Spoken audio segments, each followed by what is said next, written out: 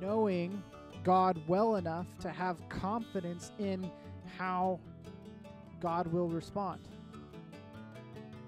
You can tell this this derives directly from Paul's relationship with the Lord.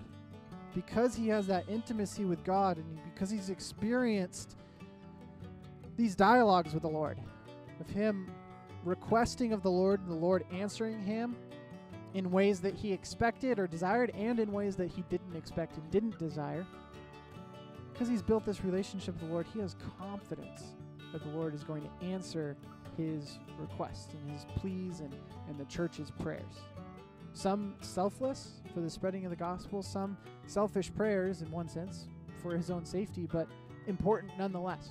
So Paul's a great example in these first five verses of us just relying on the Lord.